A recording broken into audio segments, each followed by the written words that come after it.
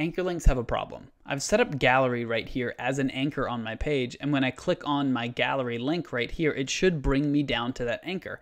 However, if my header is fixed, it overlaps what I want it to show. I have to scroll back up, or maybe your user has to scroll back up to see what it is. In this tutorial, I'm gonna show you how you can never worry about that problem again.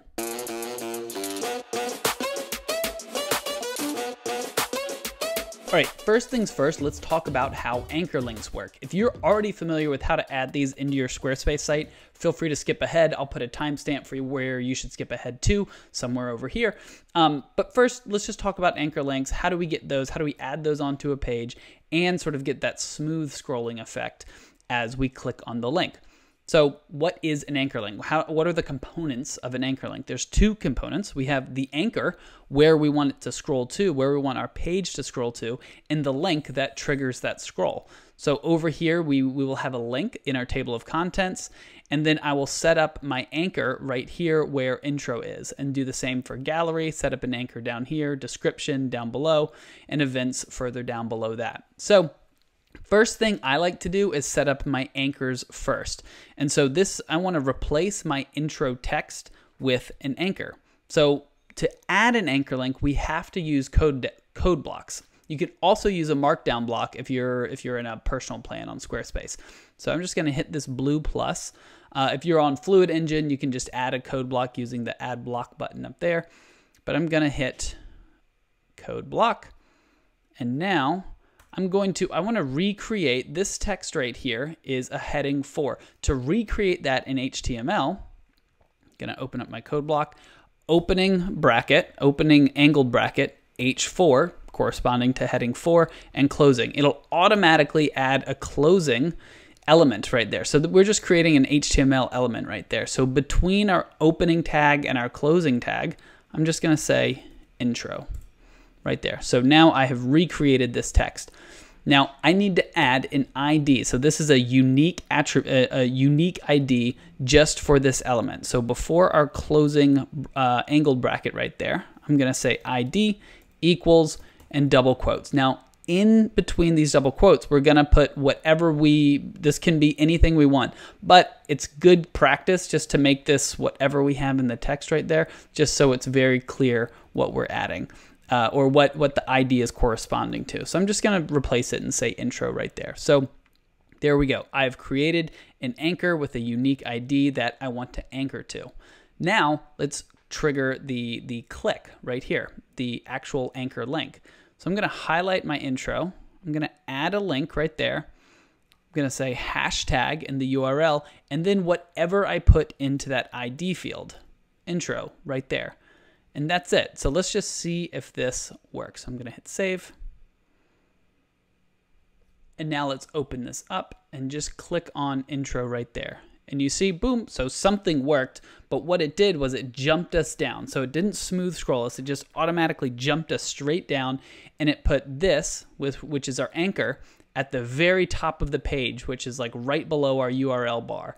However, it's being covered by our header there. So we'll fix that a little bit later. But the general structure of this is working. So I'm going to now do this for, I'm going to get rid of our intro text right there because we have it in the block. Now I'm also going to do this for our other one. So I'm going to get rid of gallery. Now let's add in another block in between. To delete all that. I'm going to add my H4, close it out. So we have our opening tag, our closing tag. You can create, I like doing line spaces or line breaks because it makes it a little bit easier to see and just say gallery in between.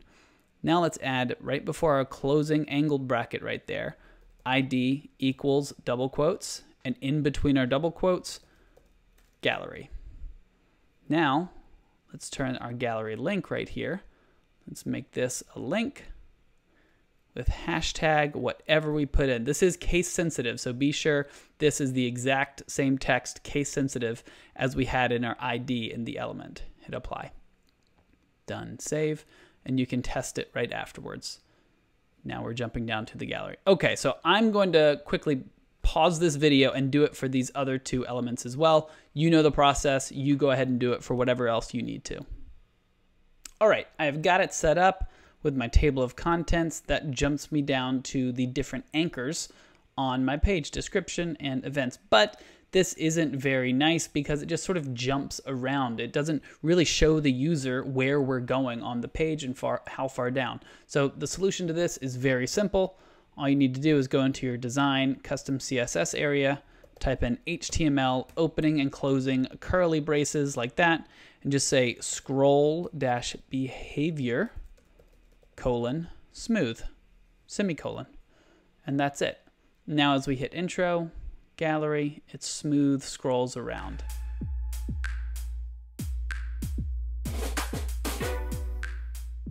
All right, I want to mention one more thing about anchor links before we move on. You don't have to have text in the anchor. You can just make it an empty element. So right down here, maybe right here, let's add another code block. I'll show you how to do it. Delete what's in there, opening angled bracket, and just say div and then closing angled bracket. It'll close out, it'll add our closing tag, which we absolutely need. And then before, let's just add a line break between these two so we can see. Before our closing angled bracket right there, I'm just gonna hit a space, ID equals double quotes. And now again, you can put in, make this ID anything you want it to be. Let's just, for simplicity's sake, let's just call it anchor. Now we can add another anchor tag. This is gonna be between our intro and our gallery, but let's just put it at the bottom. They don't have to be in order. I'm gonna highlight it and add a link that is targeting in the URL, URL area that is targeting whatever ID we just created. So I'm just gonna say that. Done, save. And now we should be able to hit anchor and it brings us down to that anchor we just added. But we're still having this problem where our element is being covered up by our header. Our anchor is being covered up by our header. So let's fix that.